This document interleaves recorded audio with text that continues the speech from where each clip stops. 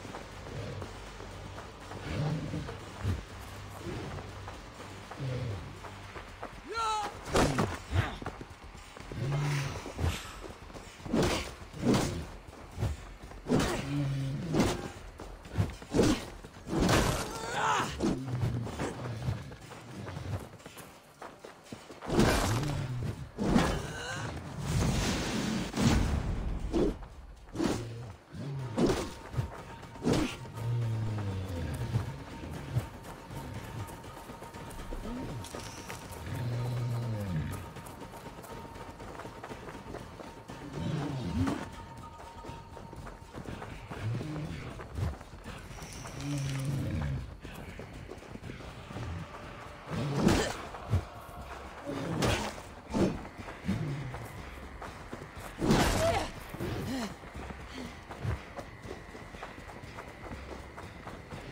Mm.